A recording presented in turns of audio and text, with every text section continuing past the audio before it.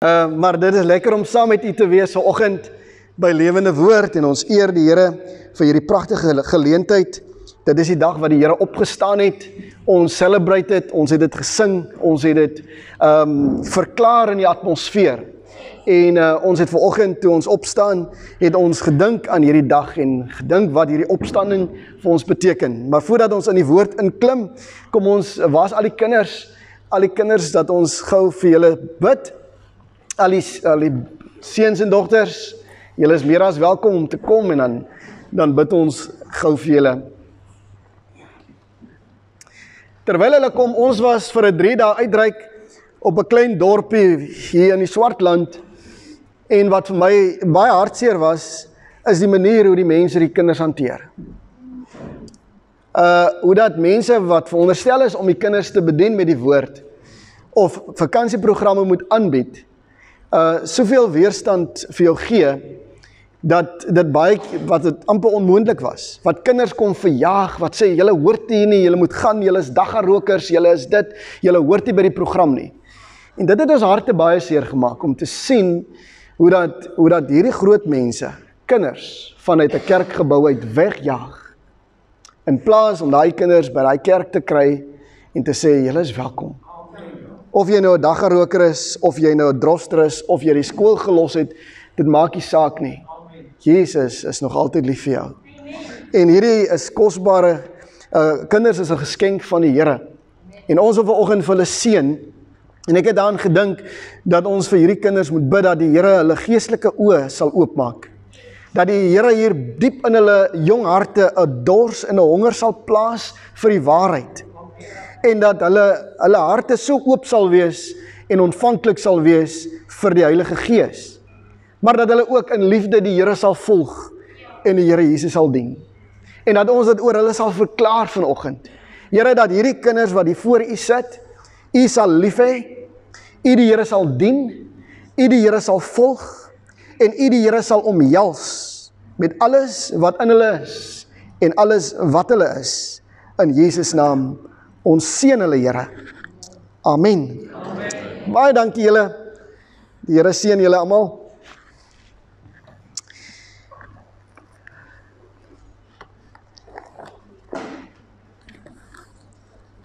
amper 'n jaar gelede am, ja het was ek hier wie was almal hier op op opstanding Sondag toe ek die woord gebring het by lewende woord kan julle onthou wat waaroor het ons gepraat Kan julle onthou waaroor het ons gepraat daai Sondag? Ek het ook self gewonder waaroor het ons gepraat want ek kan nou nie weer oor dieselfde goed praat nie.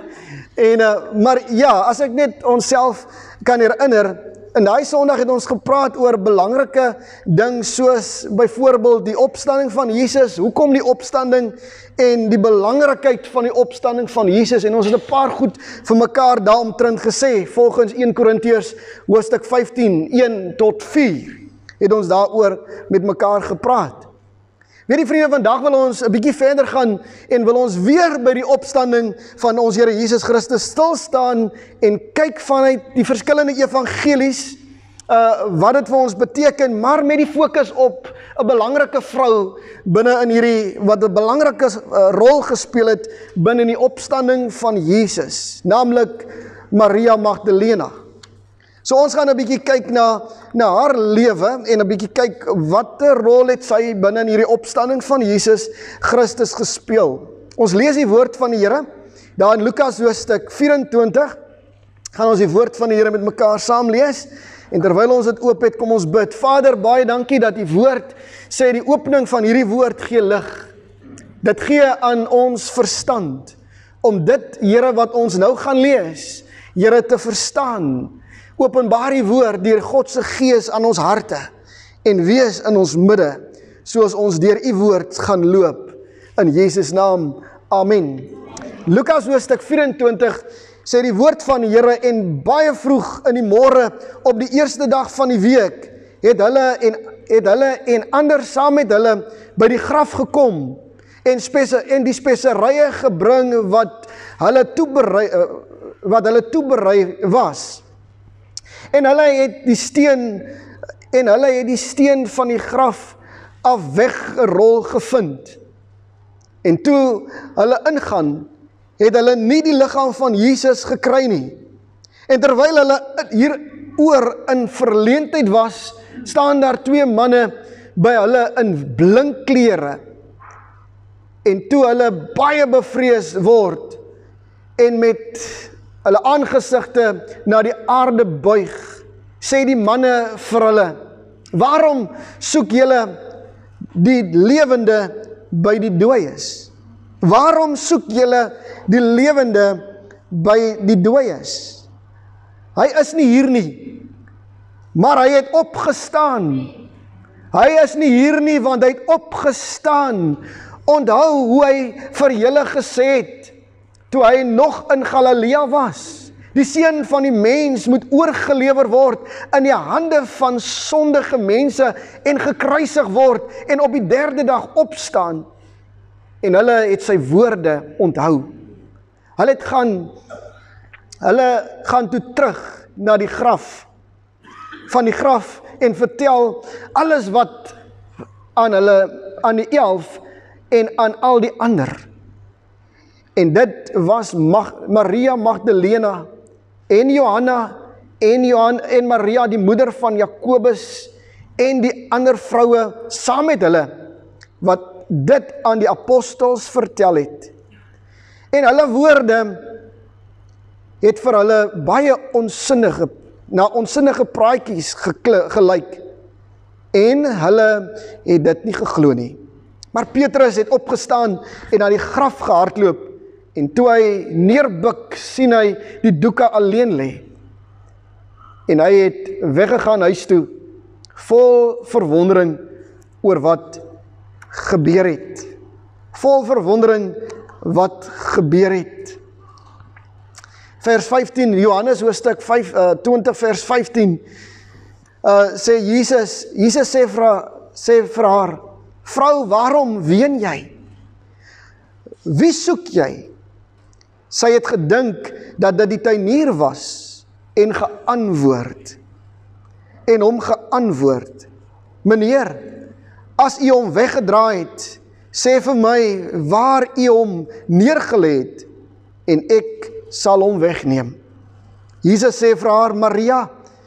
Sy draai haar sy draai haar om en sê vir hom Rabboni. Dit beteken meester. Jesus sê vir haar raak my nie aan nie want ek het nog nie opgevaar na my Vader nie. Maar gaan na my broer, broeders en sê vir hulle ek vaar op na my Vader en julle Vader en my God en julle God. Maria Magdalena het aan die disippels gaan vertel dat sy die Here gesien gesien het en dat hy dit vir haar gesê het. Wat 'n kosbare woord. Vriende, wanneer ons kyk na na die opstanding van Jesus, dan hou dit vir ons baie mooi beloftes in. Daar moet uh die, die kruis, die graf en die opstanding Dis deel dit dit maak 'n eenheid uit.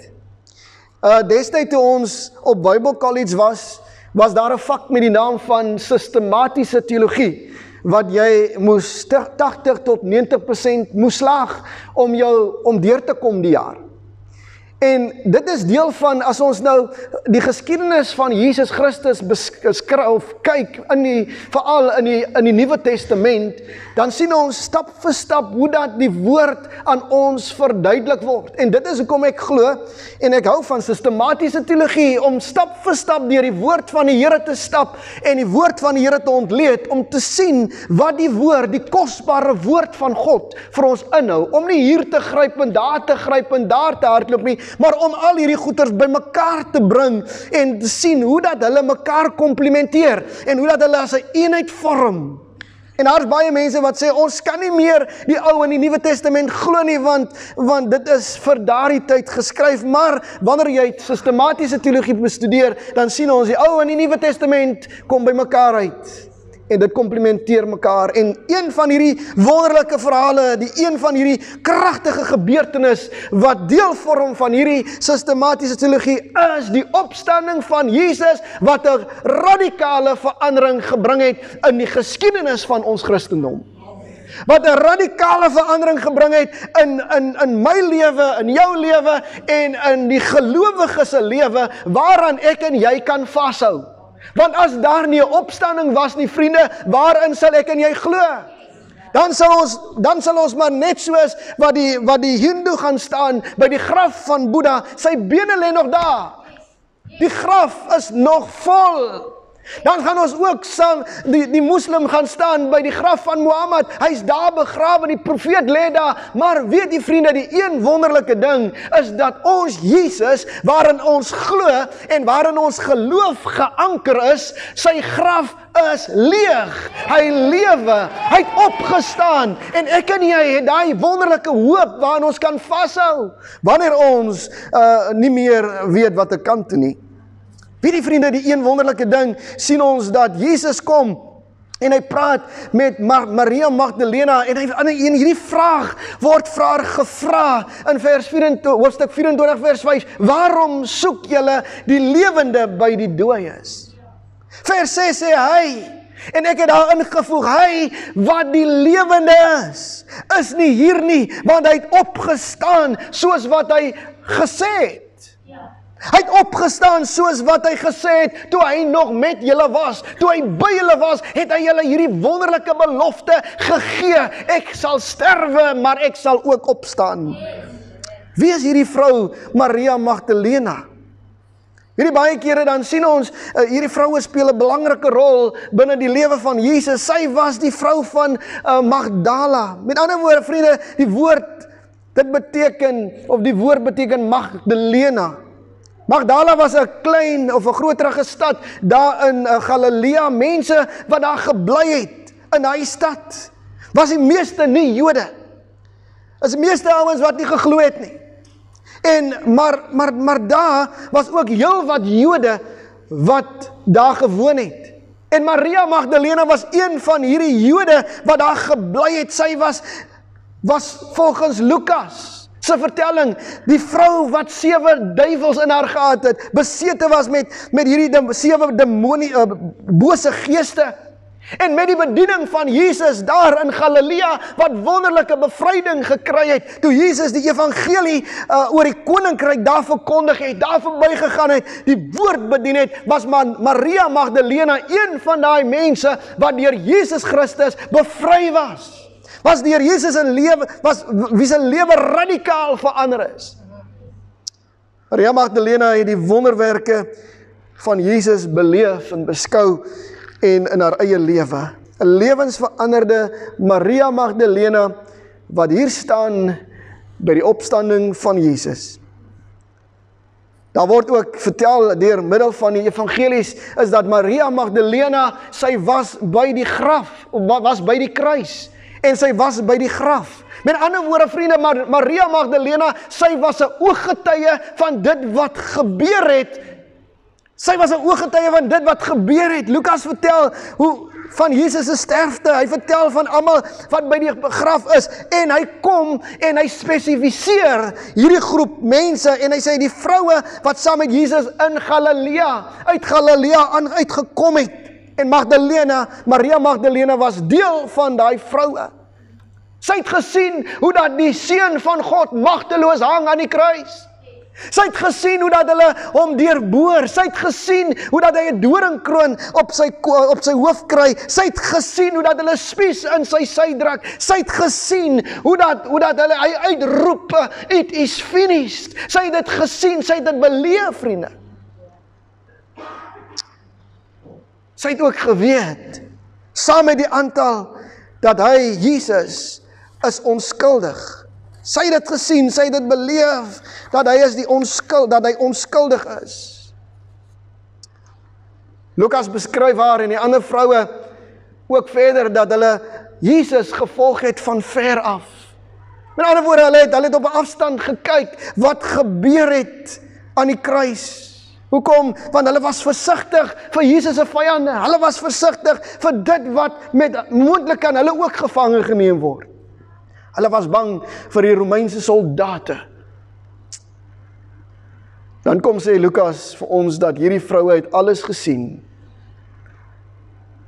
En hierdie vroue sê is ooggetuies van die kruisiging, die begrafnis van Jesus. En toe Maria Magdalena en die ander vroue by die graf van Jesus kom, sê die Bybel, wat het hulle gevind? Hulle het gevind dat die graf, die steen is weggerol en en toe gaan hulle na die disippels toe en hulle sê luister, ons het ontstellende nuus. Die graf is leeg. Maar soos baie manne wil ons mos nou nie die vroue glo nie. en in hierdie geval vriende in da, in daardie tyd uh, was dit die custom, dit was die kultuur dat dat manne nie maklik die woord vat van vroue nie. En Petrus hulle het gesê ag man, hierdie hierdie vroue praat weer is onsinnige praatjies, is lawwe goed wat hier sê, hoe kan dit gebeur? En die Bybel sê vir ons dat Petrus het gehardloop en hy het gaan kyk en toe hy daar kom, wat gebeur? Toe sien hy homself wat gebeur het. Maar weet jy vriende, die kortom van hierdie storie is Magdalena Maria Magdalena en die vrou het gesien hoe dat Jesus begrawe geword het deur Josef van Arimatea. Hoe dat Josef die liggaam van Jesus gaan haal, die liggaam van Jesus toedraai in doeke was dit Maria Magdalena en al hierdie vroue wat saam met hom loop tot by die graf. Wat saam met hom daar staan terwyl hy Jesus se liggaam in hierdie graf in neerlê. Hulle was ooggetuies. Hulle was daar by die begrafnis. Hulle het sy begrafnis beween. Hulle het hulle hulle hulle het geween. Hulle het hulle het hulle hulle was teleurgestel. Hulle hartseer. Hulle emosie was so groot. Hulle het gesien. Hulle was ooggetuies. En nou vriende op pad nadat Jesus begrawe is, die eh, die die klip is weg as verseël, die soldate is daar. Sê die woord van die Here vir ons in Lukas hoofstuk 24 is dat die toe Maria Magdalena die oggend vroeg die sonoggend vroeg na hierdie graf toe gaan om wat te doen? Sy en die vroue om laaste eer te gaan betoon vir Jesus. Hulle wil nog die laaste bietjie iets gaan doen vir hom. Die reukolie te neem, sy liggaam te balsem en en toe hulle daar kom, vind hulle hierdie verskriklike ding gebeur het. Hy is nie daar nie. Toe hulle daar kom, is die skok van hulle lewe. Die ingang is oop. Die liggaam van Jesus is weg. Maar weet jy wat vir my wonderlik is, is hierdie vroue of hierdie woorde van hierdie engele van hierdie twee manne in wit klere wat vir hulle vra, "Waarom soek julle? Waarom soek julle die lewende by die dooie? Want Jesus is die lewende. Waarom soek julle hy wat lewe, hy wat self verklaar het dat hy dat hy lewe, hy wat by julle was wat sê ek sal opstaan? Waarom soek julle die lewende by die dooie?" Weet jy vriende, as ons die kry, as ons die sewe I ams gaan deur gaan lees, dan sien ons Jesus sê I am the resurrection and life. En miskien het hulle vergeet hierdie woord wat Jesus terwyl hulle by eh, terwyl hy by hulle was, hy hulle het dit vergeet, die wonders wat hy gedoen het, die woorde wat hy gespreek het. Baie kere vriende, is ons ook so uh, oorweldig met die omstandighede waarin ons is, dat ons een oomblik vergeet dat Jesus sê I am the resurrection and life. Ek is die brood van die lewe. Ek is die opstanding en die lewe. Wie in my glo, sal lewe al het hy ook gesterwe. Met die baie kere as jy so verblind en ek glo Maria Magdalena se oë was so vol trane en sy was so oorweldig deur wat hier gebeur dat sy een oomblik vergeet en fokus verloor. Dat hierdie mense vir sê, "Maar waarom soek julle hy wat al verklaar het hy gaan oorgelewer word in die hande van sondaars?" Hy wat gaan sterwe, maar hy wat weer gaan opstaan. Hoekom soek julle hom hier? Want hy dan klaar aan julle verklaar. Hy dan klaar in die woord toe hy nog met julle was. Toe het hy dit al reeds vir julle gesê. Maar ons mense vergeet baie gou, nê? Nee. Baie kere dan is ons so opgeneem met ons eie goed dat ons vergeet uh, die beloftes wat die Here vir ons gegee het. Die beloftes van hoop, die beloftes van versekering, daai daai daai heerlike troos wat ons kan vind in die Here. Baie kere vergeet ons die beloftes van die Here. Ek is die opstanding en die lewe. Wie die een wonderlike ding wat ons ook vir mekaar sê, sy was bevoorreg. Maria Magdalena was 'n bevoorregte vrou. 'n Voorreg wat ek en jy ook sal wil hê. Sy was daar, sy het dit sy kan getuig daarvan. Sy het dit beleef, eerstens beleef. Met haar eie oë het sy gesien Jesus se graf is leeg. Met haar eie oë het sy dit beleef, gesien. So hy is nie meer daar nie. Hulle het die doeke gesien, al die 110 goed gesien wat daar lê die en en en wat 'n wonderlike belewenis moet dit wees vir Maria. Johannes kom en hy en hy gaan verder waar Lukas 'n ander uh hy gee 'n ander weergawe van hierdie opstanding waar hy sê Jesus wat aan Maria Magdalena verskyn Sy was nie net hierdie bevoorreg om te sien dat die graf leeg is nie, maar sy was ook bevoorreg dat die opgestane Jesus met haar praat. Wow.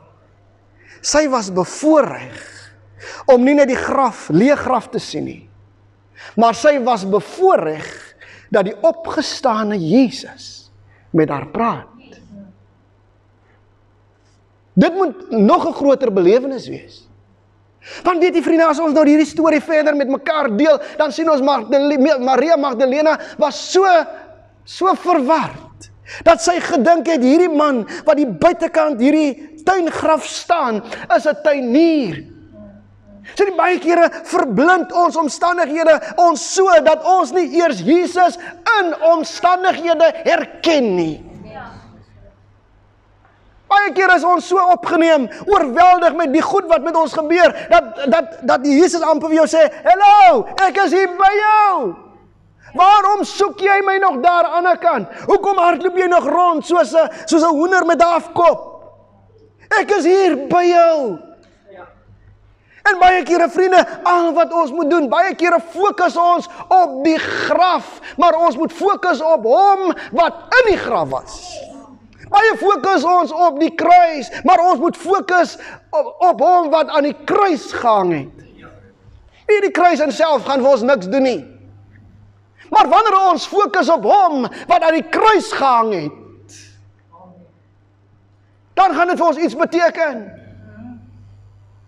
Weet daar's baie mense wat die kruis het. En Jesus hang nog altyd aan die kruis. By baie kerke as jy inkom, daar hang Jesus nog altyd. Hy ene, hy's al droog gehang daar. En mense is nog altyd Jesus as in die kruis. Nee vriende, hy hang nie meer aan die kruis nie. Hy lewe, hy het opgestaan. Die kruis, die graf is leeg. En nou hang ons. En nou moet ons maar die roosmaryn en ons bid deur hierdie kruis en deur al hierdie goedertjies en daai kan vir ons geen is geen hoop, geen betekenis vir my en vir jou nie. Dit bring nie vir ons redding nie. Kom ons fokus op hom wat aan die kruis gehang het. Ons fokus op hom wat in die graf was. Ons fokus op hom wat opgestaan het en wat lewe. En wat vir jou en vir my sê, ek is die opstanding, ek is die lewe.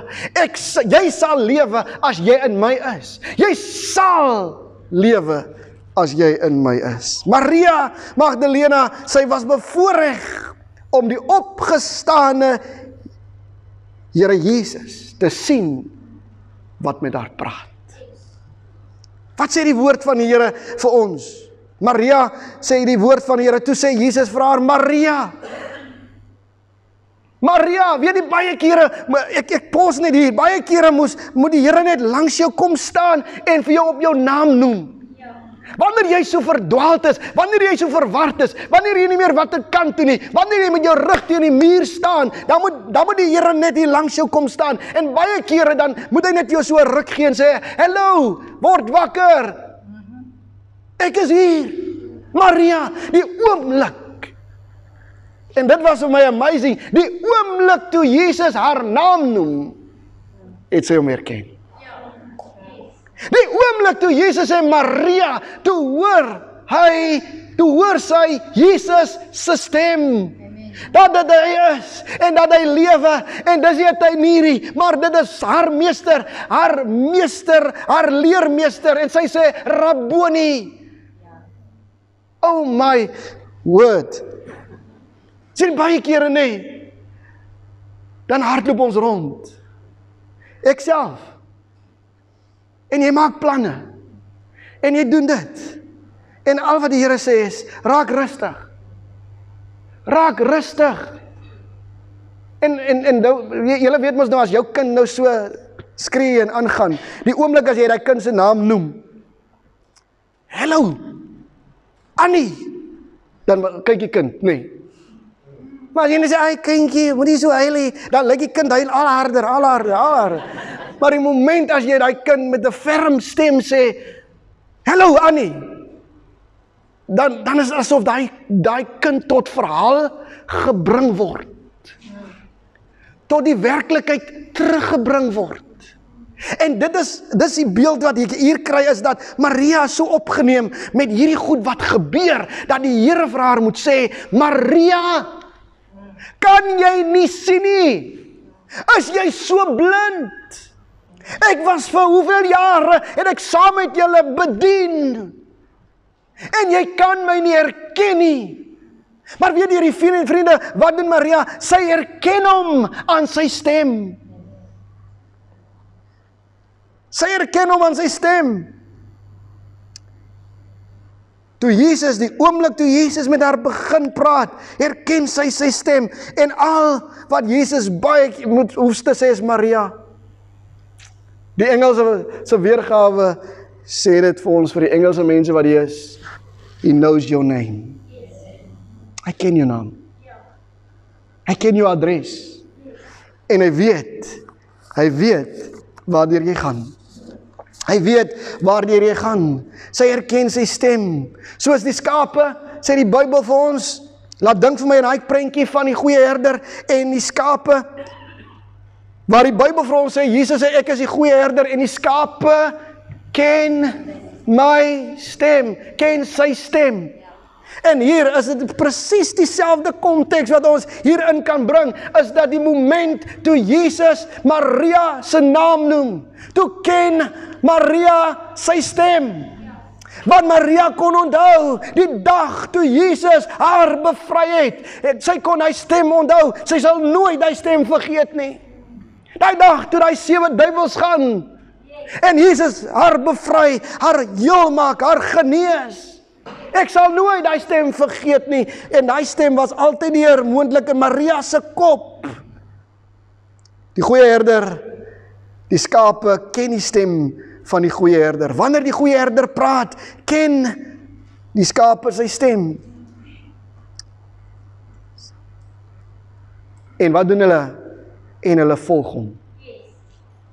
Hulle ken sy stem, maar hulle volg hom. Weet die vriende, een ding wat na my hart toe gekom het is, ken jy werklik die stem van die goeie herder? Ken jy werklik die stem van die Here?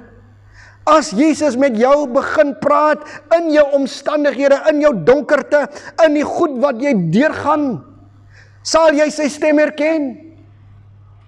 Of sal jy sal jy so opgeneem wees met jou omstandighede?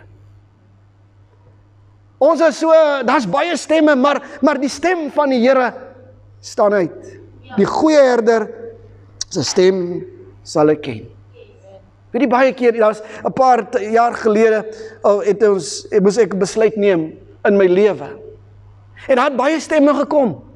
Baie stemme het vir my gesê nee, die ding wat jy nou doen, gaan jy gaan 'n flop maak. En en dit ek moes staan stil word. Ek moet gaan en en baie stemme het verskillende oorde gekom. En ek het gaan sit en ek het gaan stil word en en ek kan duidelik die dag terwyl ek kniel by my kooi, ek kniel nog, nê. Nee. Uh, ek weet nie hoe maak julle nie, maar ek kniel daar by my kooi, daar voor die bed, kniel ek en ek sê Here, ek hoor 'n klomp stemme. U moet nou, u ek het nog nie u stem gehoor nie. Ek hoor wat daai suster sê, ek hoor wat daai ou sê, ek hoor wat daai pastoor sê, ek hoor wat die profeet sê. Ek hoor wat daai apostel sê. Ek hoor die klomp profete, daai profete dit gesê en daai profete het vir my dit kom sê. Maar Here, ek het nog nie u stem gehoor uit al hierdie stemme nie. So is is is gevaarlik om net 'n profeet se se stem te hoor. Is gevaarlik om net 'n profetiese woord te vat. As jy nie die stem van die Here hoor nie. En die een ding kan ek soos dagbreek, dit was 'n woensdagmiddag terwyl ek daar sit by daai kampterrein op my knieë.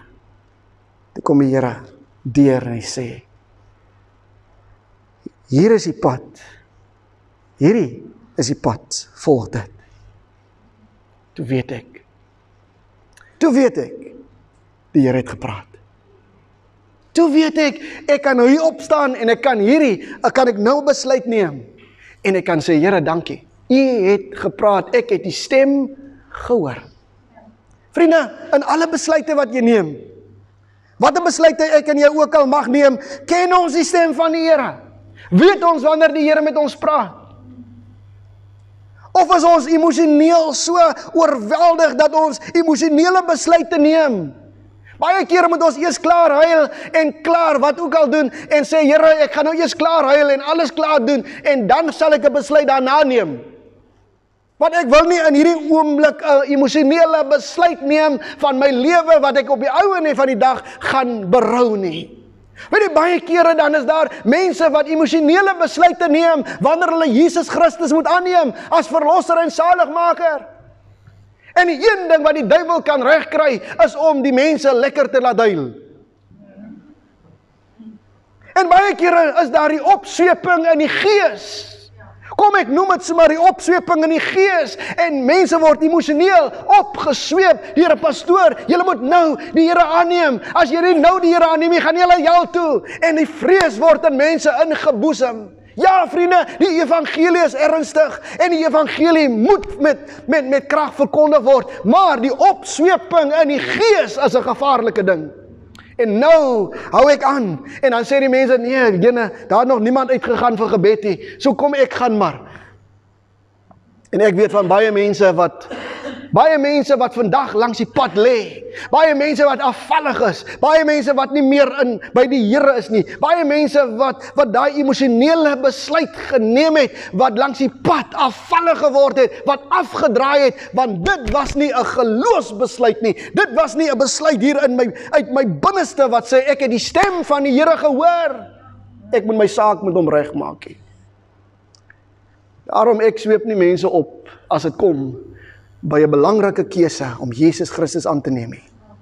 Hy moet by sy volle positiewe wees. Hy moet wees, hy hy klaar suster, hy klaar. Ek hou as jy gesake aan met jou heilery. So, wil jy Jesus hê of wil jy hom nie? Broer, wil jy hom afvat of wil jy hom nie vat nie? Uh baie keer as hy nie deur die trane, ek wil jy nee, kom, ons begin weer oor. Wil jy hom hê? Wil jy hom hê nie? Klaar, eenvoudig soos dit. Môre as ek weer by jou, Hey, luister, wat het jy gister gedoen? Weet jy wat het jy gister gedoen? Jy het gister Jesus aangeneem, weet jy dit? Jy het so lekker gechank in die kerk en wat ook al en eh, die mense het jou gebid en hande opgelê. Weet jy wat het gebeur met jou? Nee, ek weet nie wat het gebeur nie. Dan moet jy weer oor begin. Want dit was 'n emosie. Het daar oorgeneem, vriende. So hier uh, is baie keer wat Jesus aan by hier vir Maria sê, "Hey, luister, kom tot die werklikheid. Maria, ek is as as ek die Here wat met jou praat. Ek het Daar's 'n lied wat sê ek het u stem gehoor. Ons almal van ons kom van die NG Kerk af en baie kere sing ons daai liedere gesing ek het u stem gehoor wat roep o kom tot my. Nou het jy al die stem van die Here gehoor. Soos Maria Magdalena die stem van haar verlosser gehoor het. Het jy al die stem van die Here gehoor wat vir jou sê ek het jou lief met 'n ewige liefde? Het jy al die stem van die Here gehoor wat sê hierdie pad waaraan jy gaan, gaan is op jy's op pad in 'n ewigheid sonder God? Het jy al die stem van die Here gehoor wat vir jou sê, "Hallo, stop 'n bietjie. Raak rustig aan jou binneste. Draai om. Maak 'n U-turn in jou lewe." Het jy daai stem gehoor wat vir jou sê, "Luister, ek is die Here God wat jou genees wanneer jy daar lê en jy weet nie watter kant toe nie, die kanker deurtrek met jou in jou liggaam." Het jy die stem van die Here so gehoor? Een Sondag aand, dis ons in 'n diens in Parel en terwyl ons in daai diens is, sê sê die pastoor, hier's die Here sê vir hom, hier's 'n vrou in die hier's 'n vrou wat wat wat borskanker het. En almal kyk rond, wie nou? Wie is dit nou? En hierdie vrou kom uit, sy en hy sê die Here sê vir my, jy het borskanker. Maar hierdie goed is so groot soos hoendereiers in jou borste. Maar vanaand glo jy dat die Here vanaand daardie daardie knoppe in jou borste kan breek? Glo jy dat die Here wonder kan doen? En sy sê, "Yes, I believe that Jesus can heal me."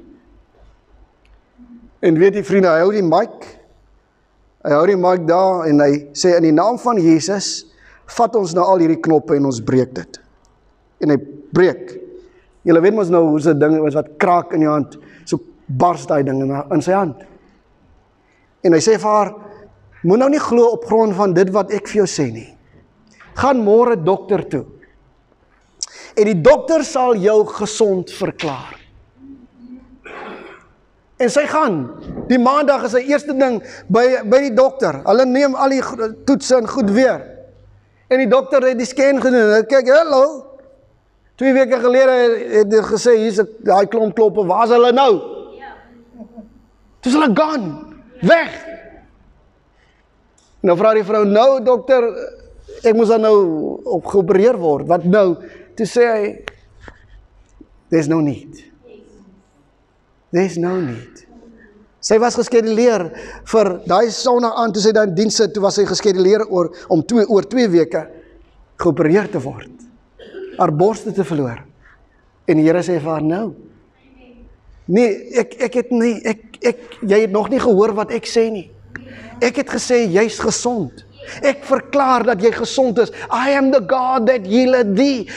Ek kan jou gesond maak. Nou vriende, het jy sy stem al so gehoor in jou omstandighede inspreek, in jou lewe spreek? Maria het sy stem gehoor. Sy het sy stem herken.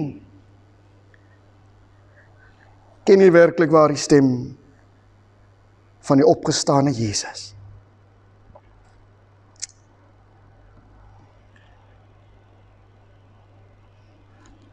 Of gaan ons maar deur mousings?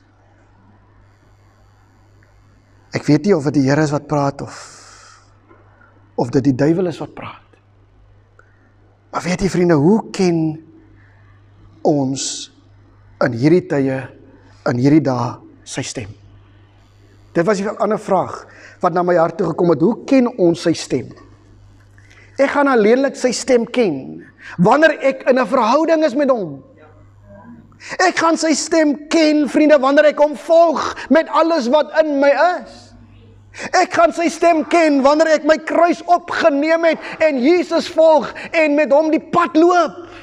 Maria Magdalena se pad het begin die dag toe daai sewe duiwels uit haar lewe verwyder is en sy bevry word, het sy haar lewe aan die Here toegewy en sy het met alles wat in haar is, met passie, met mening, met oorgawe die Here Jesus gevolg en gedien. Soveel so dat sy gevolg het tot by die kruis, tot by die graf en ook na die graf. Sien die vriende, dit is iemand wat die stem van die Here ken. Is daai persoon wat 'n intense, intieme verhouding met hulle Skepper God het. Met hom het Johannes hoofstuk 15 wat sê bly in my en ek bly in jou. So ek bly in hom en hy bly in my. Ons praat van daai intimiteit, daai intimiteit wat ek het met met Jesus Christus. Hy is die wynstok, ek is die loot, maar ons bly in mekaar geanker. Dan alleenlik gaan ek sy stem ken. Ek gaan sy stem ken wanneer ek tyd spandeer met die woord, vriende. Wanneer ek in hierdie woord in bly, wanneer ek hierdie woord eet. Ja, as, as Jesaja wat gesê Jeremia het gesê, ek het die woord van die Here het ek dit geëet. Ek het die boekrol geëet. Hierdie woord is so soet soos heuning en die een wonderlike ding, hoe gaan ek sy stem herken? Hoe gaan ek weet dat hy met my praat in hierdie dae? Is dit sy woord? Is deur sy woord. Sy woord, die Bybel sê in Psalm 119 119, die opening van die woord gee lig. Dit gee wysheid, dit bring verstand en wanneer ek aan hierdie woord inklim, vriende, dan leer ek hom ken. Hy praat met my. Hy praat met my. Hy openbaar sy wil aan my. Ja, die ons hou van profetiese woord en daar's niks verkeerd daarmee nie, maar weet die vriende, die een wonderlike ding, as jy sy woord ken, sal daai profetiese woord in lyn kom met die woord wat gespreek word. Weet jy? Hoeveel tyd spandeer ek in sy woord? Hoeveel tyd spandeer ek met God se woord per dag? Is ek nog in sy woord? As ek by 'n Bybelstudiegroep waar ek sy woord bestudeer, ons praat nie oor kalfies en koetjies nie, ons praat oor sy woord. Ons klim in sy woord en ons trek sy woord uitmekaar uit. Wat sê die woord van God vir my? Ek het die woord van die Here in my hart gebeere, sê sê die psalmdigter, dat ek nie teen die Here sal sondig nie. Ek het die woord in my hart geberre dat ek nie teen die Here gaan sondig nie. Die woord van die Here bewaar my van moedswillige sonde. Om nie van die pad af te gaan nie. Kan ek vir vra hoeveel tyd spandeer jy in God se woord? Spandeer ek meer tyd in God se woord as om geld te maak? Om goed na te jag, om my eie ambisie en my eie belange uh, te bevorder. Ek moet eintlik meer tyd spandeer in God se woord om leiding te kry hoe ek al hierdie goeders te doen. Hoe moet ek al hierdie planne maak? Kry ek in die woord van God. Bybel sê vroeg in die môre, nog diep in die nag, het Jesus met sy Vader gespandeer. Die Here het vir my terwyl ek ook voorberei gesê, luister, It is time to get in the word. Dit het tyd geword dat jy in die woord in moet klim. Want dis die woord, dis nie jou woord nie. Dis die woord wat heling gaan bring. Dis die woord wat mense se lewens verander. Nie jou woord nie. Nie dit wat jy probeer om mense te oorreed nie. Nee, die woord van die Here bring oortuiging. Het oortuigingskrag. En wanneer ek nie hierdie woord in my hart in my lewe het nie, vriende, dan is dit maar dan is ons arm. Die kerk van die Here is arm. Ons het ons het nou vir 3 weke daar by hierdie spesifieke dorp gewees en as jy daai dorp inry dan hang daar 'n donkerte. As jy in die gees kyk, dan hang daar 'n donker 'n donkerte oor daai dorpie. Sê Here, hier is groot gevegte. Hier is geveg teen lig en duisternis hierdie week en julle kan getuig of die spanne wat daar was kan getuig dit was lig in duisternis en en dit asof die Satan kwaad is. Hy hy was kwaad vandag eendag. Die kinders se kos is maar laat. Die kinders die tweede dag word die kinders verwilder. Wat soek julle? Gaan nie weg. Die derde dag Dis daar so 'n antie, hulle noem maar die burgemeester van die dorp. Die kinders, sy is nie die burgemeester van die dorp nie, maar die kinders noem maar die burgemeester van die dorp. Sy is besig met almal. En sy blaas haar beel, dit is wat sy doen. Maar niks van die woord. Nie dis wat die Here vir my gesê het. He gave me a passion for the souls. Hy het my 'n passie gegee vir hierdie siele, vir hierdie kinders, vir hierdie mense, vir dit wat ek hier doen nie. Niks daarvan nie. Toe ons daai kerk ingaan, sê Here, is dit hier waar U elke Sondag gedien word? Dan wil ek hier wees hê. Maar as jy al in 'n kerk ingestap of in 'n plek ingestap en jy ervaar die demoniese uh bedrywighede. Is scary om dit te beleef binne 'n kerk. Nou dis nie 'n wonder dat die gemeenskap so dood is nie. Dis nie 'n wonder dat dat hulle lyk soos hulle lyk nie. Ek het ek het toe terwyl die span besig is, toe ry ek deur die strate. Die strate is vuil. Die vul is hoop. Ek weet nie voor die een huisie staan daar is daar so 'n klomp matrasse en klomp goederes gepak en daar's so 'n klein gangetjie. Nou moet jy hier deur hierdie gangetjie skuif om agter in die huis in te kom by die deur. So sê ek Here, wys die Here sê die Here vir my, dit is 'n nes of Satan. dat 'n dorpie 'n nes kan wees van demoniese aktiwiteite. Is scary.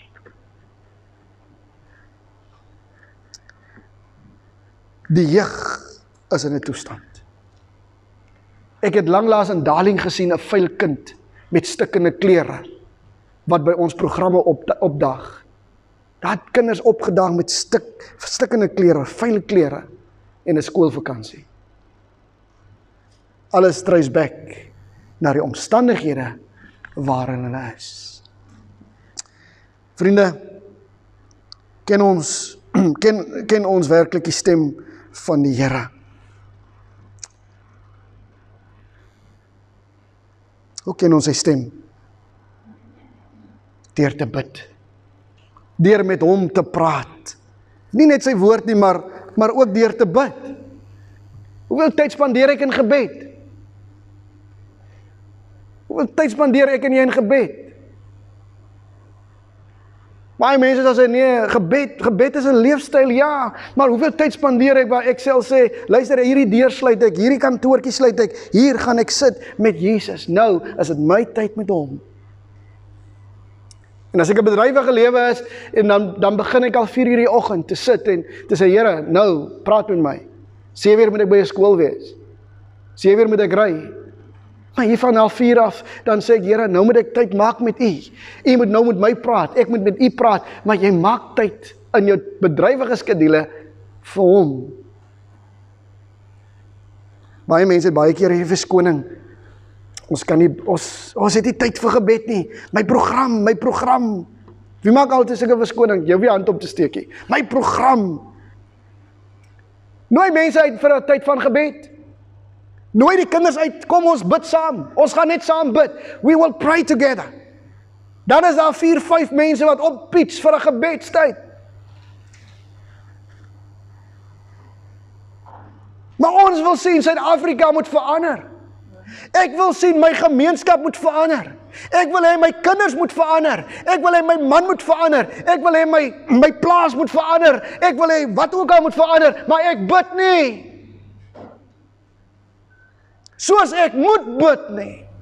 Die Bybel sê vir ons, koop die tyd uit want die dae is boos. Koop die tyd uit met die Here. Want die tyd waarin ons lewe is boos, vriende. Kyk buitekant. En dan sê die Bybel vir ons, hierdie geslag gaan nie uit deur vas en gebed nie, nie deur prediking nie. Ek kan preek tot ek blou is, maar wanneer ons daai duiwels wil aanvat, daar daar hang in daai in daai in daai dorpie, dan gaan dit wees deur vas en gebed. As ons nou weer moet gaan, dan moet ons vas in gebed, uh, vas in bid, vas in bid en ons moet sommer vir 40 dae vas in bid om daai om die lig deur te laat laat kom daar. Die Here kan in een oomblik deurbreek, maar maar die Bybel leer vir my om werklik waar 'n uh, oorwinning te kry, gaan dit deur middel van vas en gebed. 'n Dorp verander. 'n Huis verander. 'n lewe verander. Maar wanneer ek nie tyd spandeer in vas en gebed in sy woord in hom bly, intiem in hom bly nie, waaragtige verhouding met hom het nie, dan gaan ek nie werklik waar erken of ken weet wanneer hy met my praat nie. Ek moet sy stem ken. Daar's 'n liedjie wat sê I found the answer I've learned to pray with faith to guide me all way along the way. Besef Maria besef wie voor voor wie sy staan. Hier kom Maria tot die besef, maar ek staan voor my meester. Maria Rabboni.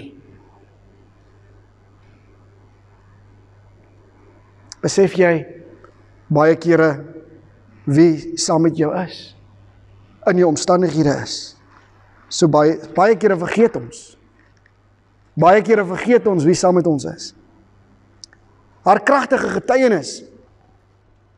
Haar kragtige getuienis eh, wat wat wat gaan wat gaan sy? Sy hardloop terug en sy gaan getuig. Sy gaan getuig, sy is so opborrelend in haar binneste nê, dat sy hier die boodskap kan sy nie vir haarself hou nie. Dit borrel en borrel in haar hart en en wat sê sy? Sy hardloop en sy gaan gaan vertel vir die 11 opgewonde. Die opgewonde nie gaan sê sê sy ek het hom gesien. Wow. Sy gaan sê vir hulle ek het hom gesien. Hy leef. Hy het opgestaan want my eie oë het hom gesien. Vriende, die een ding wat ek in gedink het, is dat Jesus, sy het gesê hy leef, ek het hom gesien. Dit is vriende wat ek en jy as 'n kind van God na hierdie roekelose wêreld moet vat. Na hierdie na ons vriende toe moet vat. Na mense wat nie glo toe moet vat. Wat ons wil kan sê, luister, ek het hom gesien. Hy lewe. En dan staan hulle verbaas om vir jou te vra maar nou waar lewe hy? Dan sê hy hier hier staan hy voor jou. Hy lewe hier binne in my hart. Hy het my lewe getransformeer. Hy het my lewe verander. Vriende, het jy die Here gesien? Het jy hom beleef in jou in in in, in innerlike mens? Maria het hom gesien. Nie net die dag toe hy vir haar bevry het nie, maar sy het hom weer gesien. 'n Encounter with the living God in 'n graveside. Ek het hom gesien. 'n Bewys dat hy lewe, dat hy opgestaan het. He's alive. Die graf is leeg. Hy het opgestaan. Ek het hom gesien. Petrus en die ander toe hulle daar kom toe hulle hierdie nuus hoor was hulle ook opgewonde. Hulle was ook opgewonde, maar maar maar daai ding, daai spesiale momente kan nie van Maria weggevat word nie. En hierdie spesiale momente in ons lewe waar jy ook die Here gesien het, waar jy hom beleef het in jou hart, in jou lewe. Niemand kan daai stuk getuienis van jou wegneem nie. Jy het gesien hoe dat die Here in jou lewe uh, die hand van die Here in jou lewe is. In elke besluit wat jy geneem het, kan jy sê, "Maar ek het hom gesien. Hy het uit my deur gelei. Hy het my gehelp in die moeilikste tyd in my lewe." Julle ken die storie van die twee uh, die die die voetspore op die op die sand. Toe hierdie ou terugkyk, was hy bekommerd en hy het net een ry voetspore gesien en hy begin met die Here 'n gesprek en hy vra vir die Here, "Maar nou Here, U het dan beloof U gaan saam met my wees. U gaan by my wees. U sal U sal altyd deur you you will be my comforter. You will be my helper." Toe sê die Here vir hom, "Daai een ry voetspore wat jy sien, is myne." Dit was die tyd toe ek jou gedra het.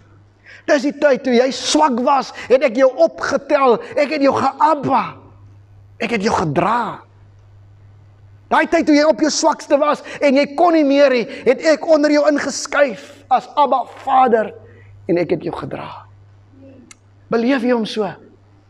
In jou eie lewe, in jou eie omstandighede. Baie kere skuif die Here net onder jou in en hy sê, "Wow, kom ek tel jou net op. Laat ek jou net dra." Dat ek jou kan comfort, dat ek jou trane kan afdroog.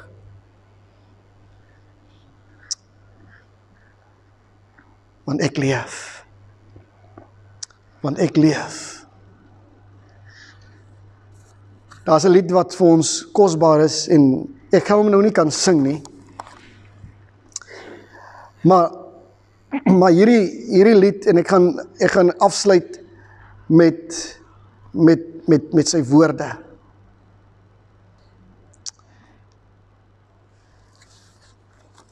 Ons het hom destyds gesing toe ons nog studentekore was. Wat sê uh he lives. Julle ken hy lied is geskrywe deur deur so 150 jaar terug. en nou sê hy vir ons so mooi, hy sê I serve a risen savior. He's in this world today, in the world today. I know that He is living, whatever men may say. I see His hand of mercy. I hear His voice of cheer. And just the time I need Him, He's always near. He lives. He lives. Christ Jesus lives today. He walks with me. He talks with me along life narrow way. He lives. He loves salvation to impart. You ask me how? I know He lives. He lives within my heart. Is dit nie mooi nie? Om net te weet, die opgestane Jesus Hy lewe. Die graf is leeg, maar hy kan ook lewe. Hy wil lewe hier binne in my hart. Elke dag kan ek hom ronddra saam met my. Dan sê die tweede versie, in all the world around me I see his loving care. Wanneer ek rondom my kyk, wanneer ek in my omstandighede kyk, wanneer ek na my gemeenskap kyk, dan sien ek hoe dat hy sy lieflike sorg, sy omgee vir mense, hoe dat hy in mense se lewens begin werk terwyl ek bid, terwyl ek getrou hom dien en hom volg en en ek die saad van die evangelie saai, hoe dat hy met sy loving care kom en hy mense optel. And though my heart is heart grow weary, I, I never will despair. I know that He is leading through all the stormy blast. The day of His appearing will come at last.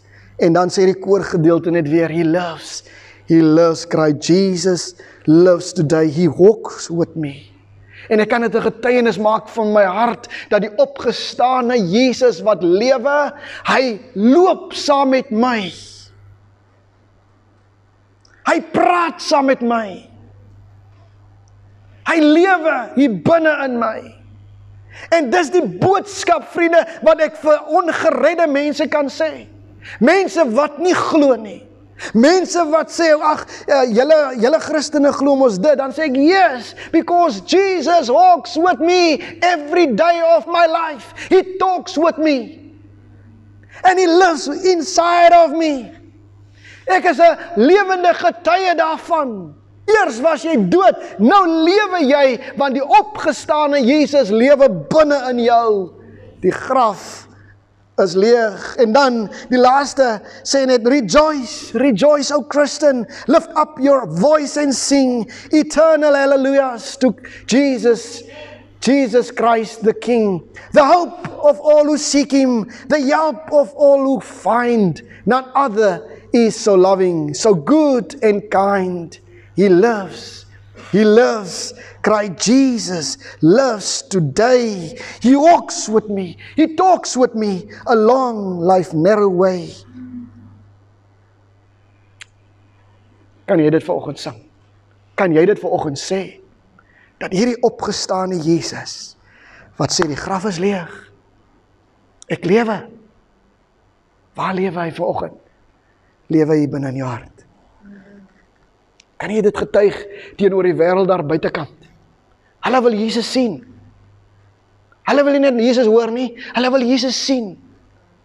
En sal jy hier uitgaan vanoggend en 'n demonstrasie wees daar buite van die opgestane Jesus wat in jou lewe leef, wat deur jou lewe leef na die wêreld in nood. He loves. Cry Jesus loves today. Simon, miskien moet ons dit sing, net die koorgedeelte. Ken jy hom nie? Michael. Oh my goodness. Mis OK. Nou gaan ons nou nie kan sing nie. Maar ja, maar dan moet ons hom leer, nê. Dis 'n ja, maar maar dis die amazingste ding. Maak dit die gebed van jou hart. Maak dit vas. Maak dit vas. Sê Here, ek maak dit vas. Dit wat ek vanoggend hoor, maak ek vas. Laat dit so wees, Here. Ook in my hart, ook in my lewe. In Jesus naam. Kom ons bid. Vader, baie dankie dat ons weet dat U is die opgestane. U lewe. U lewe, Here, U in ons harte. U lewe nie net oh, dis nie net 'n storie nie. Dis nie net 'n fabel nie. Here, die die opstanding van Jesus is 'n is 'n werklikheid. En ek wil bid Here Jesus dat dat U ons sal help as die kerk van Christus om werklik waar so vol energie, vol passie te wees om ook hierdie opstanningsboodskap vir 'n wêreld daar buite kan te kan sê Jesus loves. Hy leef hier binne in my. En wat jy sien is Jesus se krag wat uit my en deur my lewe gedemonstreer word. Here Jesus, die mense buitekant het nodig om te sien dat U leef. Maar help ons om so te lewe elke dag van ons lewe. Dat ons Vader verheerlik sal word.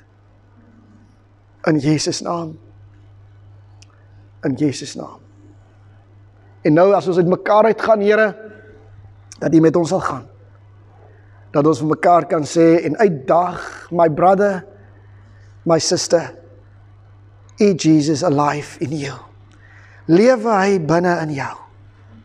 Waar staan Jesus in jou lewe? Hy leef. Ook vandag in my. Nou mag die genade van ons Here Jesus Christus, die liefde van God ons se Vader, alles wat gesê was vanoggend aan ons harte verbind. In U naam. Amen. Amen. Baie dankie julle. Die Here seën.